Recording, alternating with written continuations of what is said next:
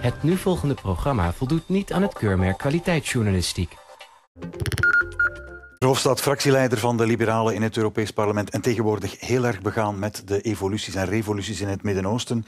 Veel meer schrik heb ik van een waanzinnige man, uh, zoals uh, Gaddafi.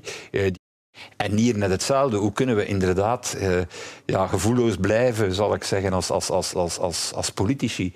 Voor iets waar we altijd van gezegd hebben dat zou moeten gebeuren en waarvan we eigenlijk eh, dachten ja, dat gaat eigenlijk nooit gebeuren in die islamitische landen. En toch zie je dat de drang van, van mensen, zeker van jongeren, naar vrijheid, naar democratie, veel sterker is mhm. dan al die grote theorieën rond uh, fundamentalisme, identiteit en dergelijke meer. En, en, en dat vind ik toch wel... Uh, ja, de, de, de, positieve kant in, in, in alle miserie en tragedies die daar nu beleefd worden. Meneer Verhofstadt, u bent wel echt gebeten door die uh, revoluties in het Midden-Oosten.